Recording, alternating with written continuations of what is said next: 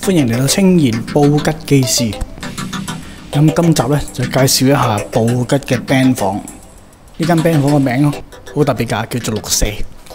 揾到呢間 band 房咧，過程都係好偶然嘅。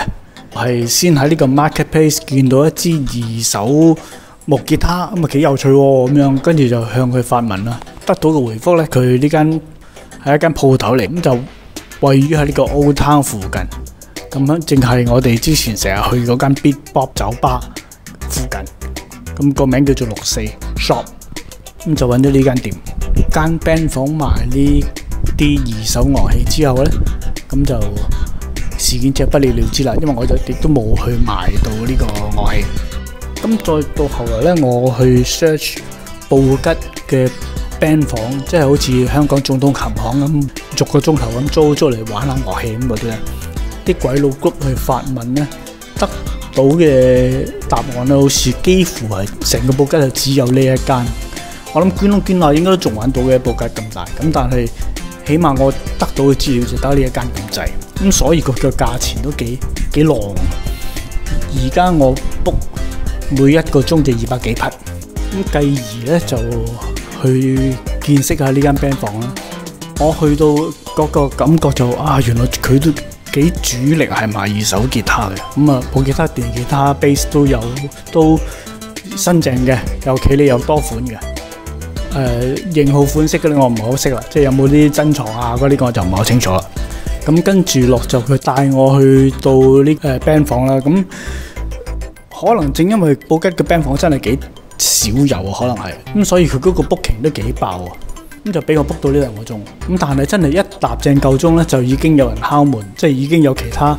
我見有啲鬼佬帶埋啲學生就誒、泰國學生咁就走嚟練，咁就準時入嚟就接班啦。咁所以咧，我諗佢個 booking 都幾爆啊！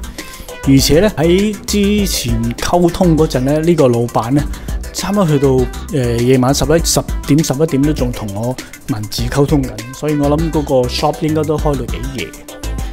咁啊，講起文字溝通咧，就我係先俾按金落訂嘅，咁就咁啊過數 QR code 就睇到個名字咧，姓鄧啊，T A N G，咁唔知佢係華人定係泰國人咧？因為泰國人都有有 T N G 呢啲譯音，去到咧就先先係個員工見到我先嘅，咁就一開口就問我 Only you，我以為歌名，咁後咪落個。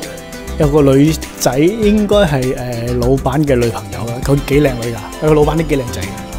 咁啊，女朋友就笑住咁走出嚟問我係咪我一個人啊？咁樣比較多係一班 band 一班人去夾 band，咁啊我一條友就奇怪啲，仲要係呢個老坑老伯伯，咁所以就有啲好奇，可能係都幾好玩嘅。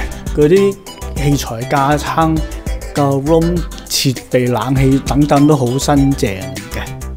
咁就好彩，我就自備鼓棍。咁因為我發覺佢個 room 咧，應該係冇提供鼓棍，可能係呢個衞生問題啦。又或者可能要開聲問佢借，或者要俾錢買啊，唔清楚。總之我帶咗自自己私家衞生問題咧，帶咗自己私家架撐去玩，咁就都玩得幾過癮嘅。好，今次就分享完呢個布吉六四呢間 shop，其他題目再講。順帶一提咧，其實布吉咧。用數字嘅店咧，非常非常之多嘅，咁因此咧，坐實十零廿間咧，就同大家介紹下。